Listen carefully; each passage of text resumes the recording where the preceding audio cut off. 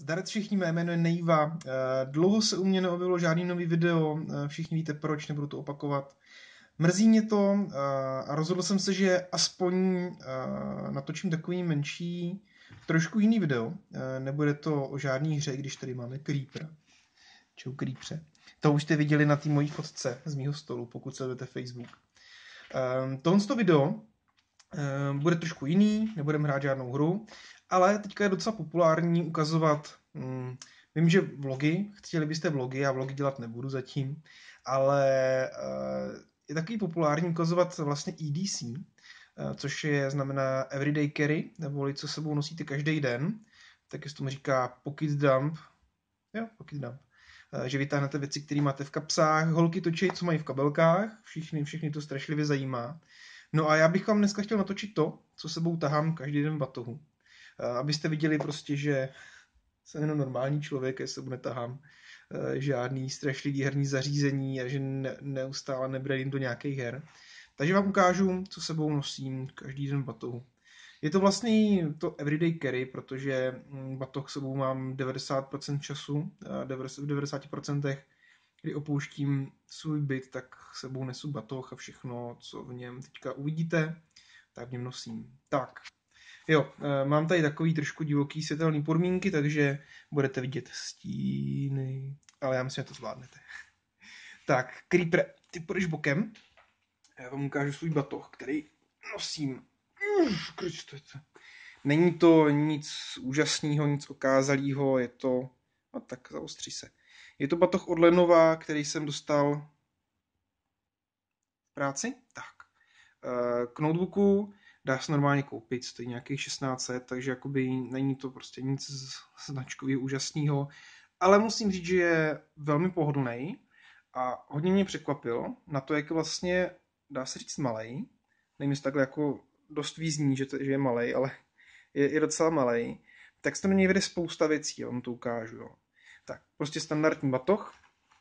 Tady mám takhle uh, placky, Tohle je uh, Shadowman, to je vlastně logo firmy, pro kterou teďka pracuju.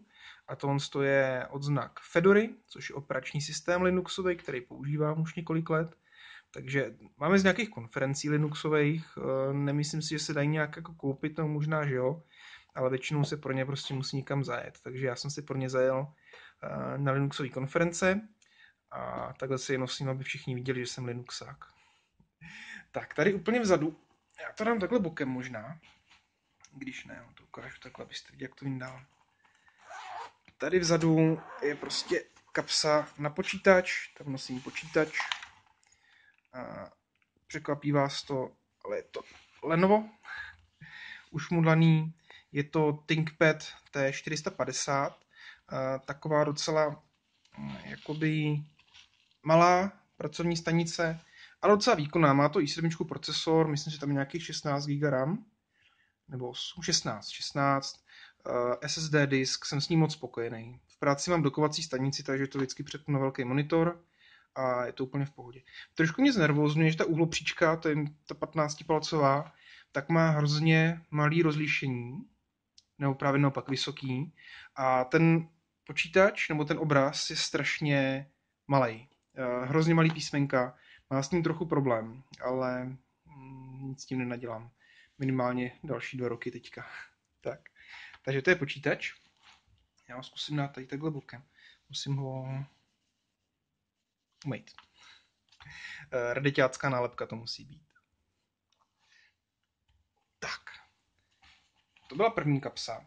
Tam už takhle nic jiného nemám. To je prostě takhle prázdný.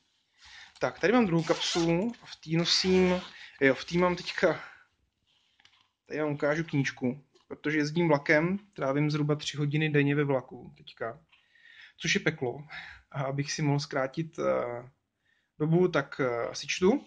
Teďka mám rozečtený soudní sestry od Pračeta, je to super. Pokud neznáte Pračeta, nebo znáte tady tu knížku, jste nečetli, tak doporučuji, je to, je to prostě sranda. Tak, dáme ji notebooku. Uh,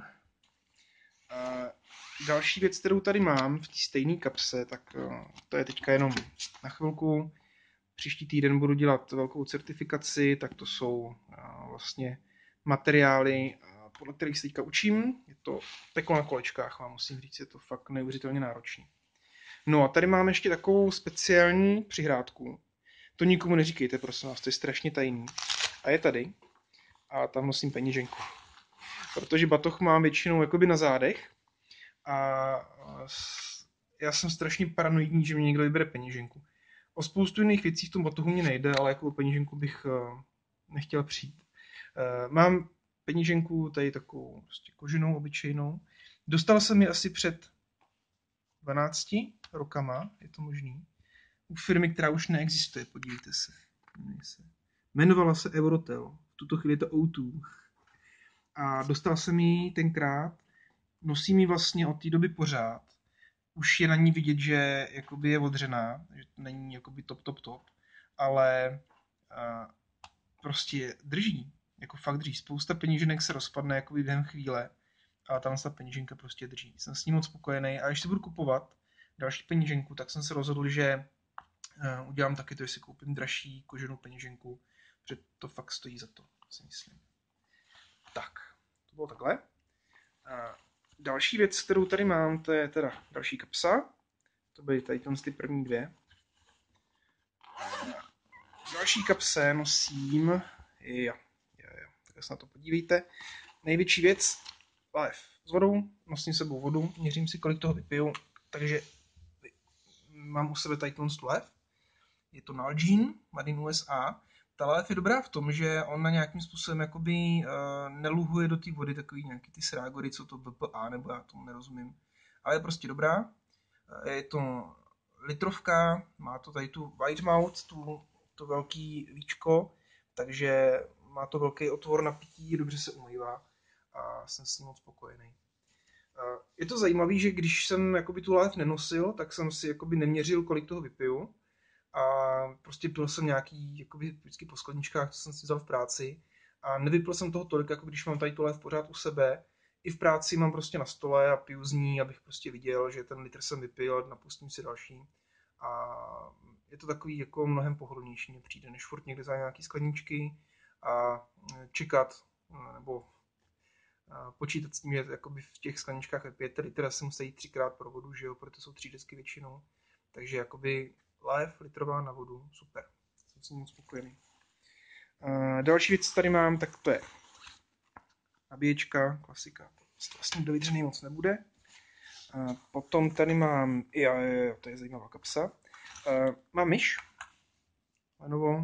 Tu jsem si bohužel musel koupit sám. Práci jsem dostal s ocáskem a já nemám kabely rád, tady jsem si pořídil tady tuhle tu bezdrátovou na dvě tuškové baterky, jsem si v pohodě.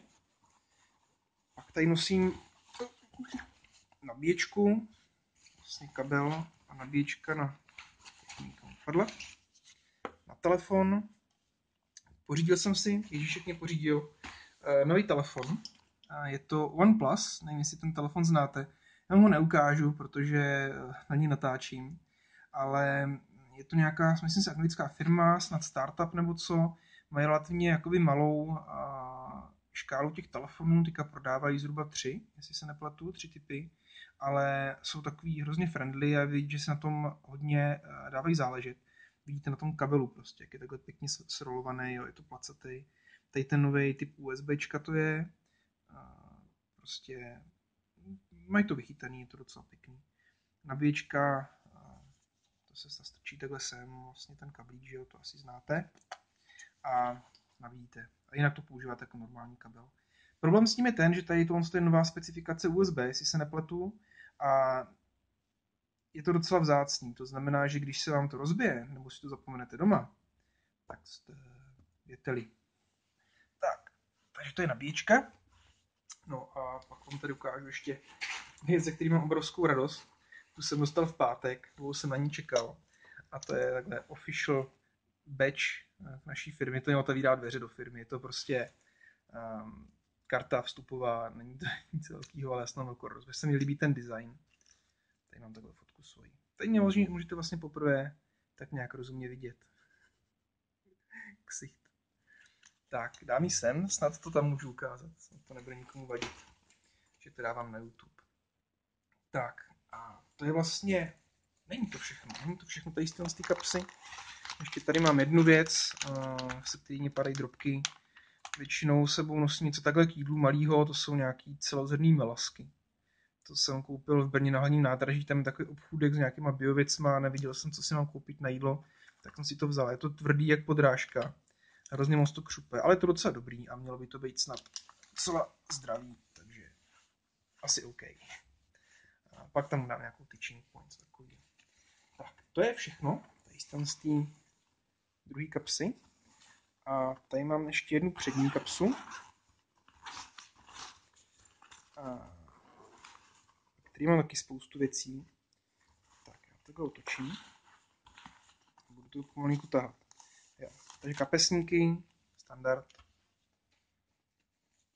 A pak tady mám jasně adaptér na kartu, na SDčko, nevím jestli. Tady v tom telefonu už SDčko nemám, ale v rodině spousta lidí má v telefonech SDčka, takže já to takhle prostě sebou nosím, když něco potřeba, protože oni to sebou rozhodně nenosí. Tak, psací potřeby. Já mám rád tušky obyčejný, takže nosím pentelku, rotring nějaký takový jednoduchý. Celku v pohodě, už ji mám, no, dva roky, dva roky, no, přes dva roky. A, prostě pentelka, co vám budu říkat. A tady mám opět firemní tušku.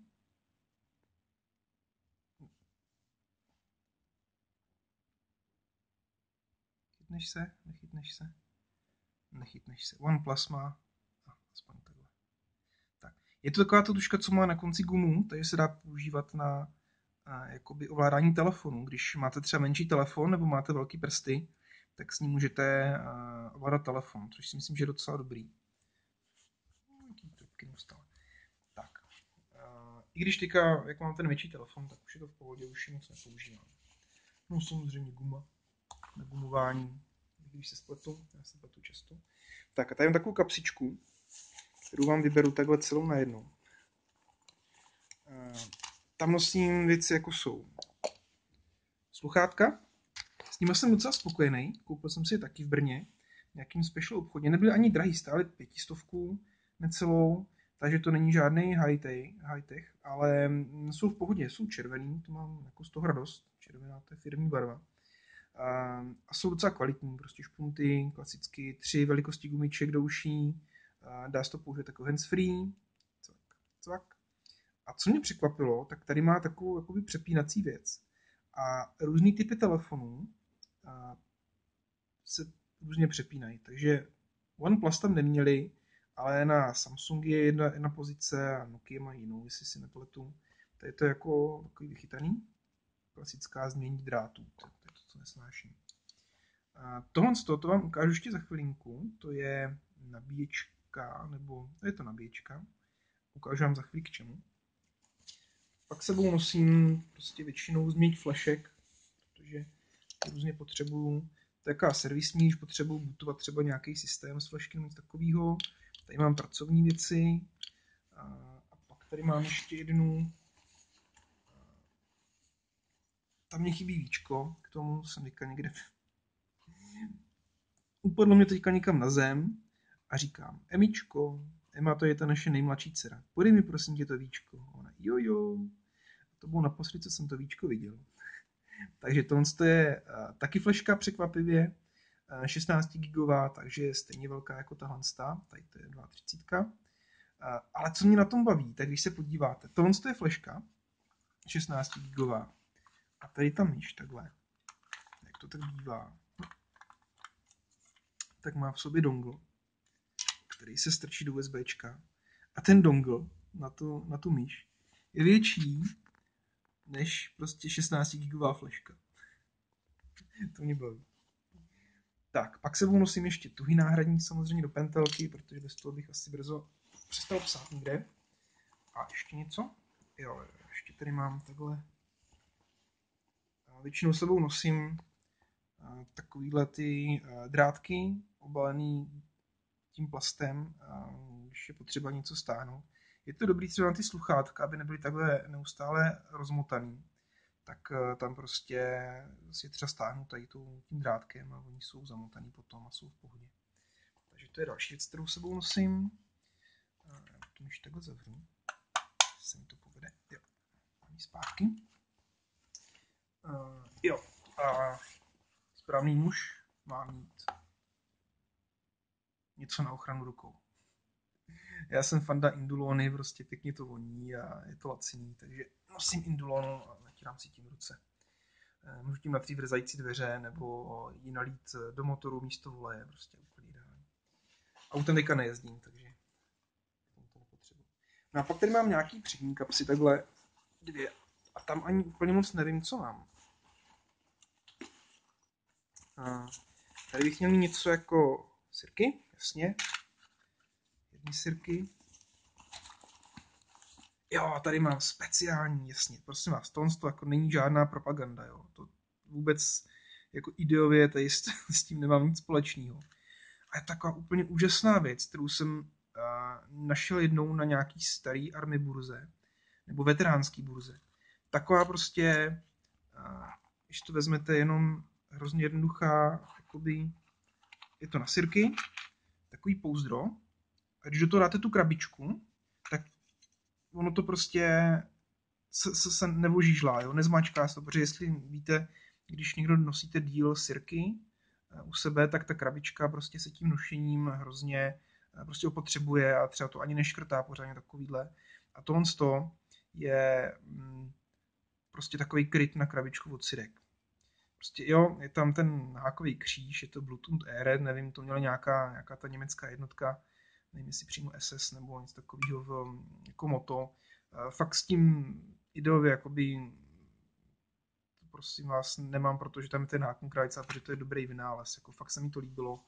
No a můžu tím lidi šokovat, když to na té hospodě a vy, oni vidějí ty, um, ten hákový kříž, tak třeba hnedka o čem mluvit, že jo. Tak, jo. To jsem někde nesnědl ke kafi. Většinou nenosím, to tam tak. No a pak tady mám poslední kapsulu. Tam musím klíče. Klíče, klíče, klíče. Tady s už daným tučňákem Linuxovým. Ehm, to je čip ke dveřím. Spoustu, spoustu prostě klíčů, který potřebuju. Nebo více mi nepotřebuju. Tady mám šňůru, kterou občas používám, když něco potřebuju někam připnout, abych to nestratil. Ještě něco, to je všechno. That's all. Tak, není to ještě úplně všechno, když se budeme bavit o tom EDC, neboli o tom, co nosím každý den. Tak, určitě nevycházím domů bez nože. A už strašně dlouho sebou nosím tady ten Smith Wesson. On není úplně ideální, není jako to srdcový nůž. Ta, to ostří moc nevydrží, už taky boží žlaný, ta černá barva se z toho jako volupuje, to vidíte ale slouží dobře. Přemýšlím, že ho vyměním, že koupím nějaký jiný, ještě nevím jaký. Chtěl bych nějaký prostě lepší, nějakou kvalitní ocel, tady s tím nejsem moc nadšený, ale co jsem potřeboval, to jsem s ním uřízl. Takže mm, myslím si, že jakože docela v pohodě. No a poslední věc, která souvisí tady s tou nabíječkou, udělám místo. A to je hodně zajímavý. Asi jste o tom už jakoby spoustukrát slyšeli. Teď je to velký téma. Pořídil jsem si uh, Fitband. Toto je Razer Nabu. A je to hodně, hodně, hodně zajímavý. Je to vlastně náramek, který máte neustále na ruce. Tady můžete vidět, jak mám otlačený. No tak. A mm, vlastně on vám měří, sleduje vám, kolik kroků uděláte, tady vidíte 1500 kroků, že mám za dnešek. A kolik jste ušli vzdálenosti, kolik jste spálili kalorií, a to, to je nějaký, to jsou stopky, jestli se nepletu. A tady máte nějaký budíky a takovýhle. A máte v aplikaci, v telefonu aplikaci, která vám to jakoby vyhodnocuje a vy vidíte, stavíte, stanovíte si na den nějaký cíl a ono vám to potom pomalinku jakoby ukazuje, kolik kroků jste z toho cíle ušli, a jak dlouho jste spali, jak eh, dlouho jste byli jakoby neklidní ve spánku nebo vzhůru v noci. Super. A takhle si můžete jakoby posouvat nějaký své výkony, stanovat si hranice. Ono vás to pochválí, že ve chvíli, kdy splníte ty všechny cíle, tak dostanete jako takový poplácání po ramenou, jako řeknu, že je to great, úžasně awesome. A, a je to, je to fakt velká motivace pro to, pokud třeba máte problém s tím se jakoby nějak pohnout víc, tak toto je úžasný. Manželka má taky jeden a vždycky soutěžíme, kdo, kdo toho ujde víc za den a kdo spálí víc kalorií. Tak jo, takže toto je obsah mýho batohu, moje EDC, to, co sebou nosím, to takový jako zmatek, tak sorry za to. A doufám, že se vám to líbilo. Je to takový poděkování za těch 500 odběratelů, kteří mě tam naskočili a je to něco jiného, než normálně dávám na kanál. Možná takových videí můžeme dělat víc, můžeme dělat nějaký update takový, pokud se vám to bude líbit. Napište něco dolů, dejte like, pokud se vám to líbí, zkuste sdílet, pokud vás to zaujalo a myslíte si, že to bude líbit někomu jinému. No a pro to díky, díky moc za pozornost. Hrajte a uvidíme se příště. Zatím čau.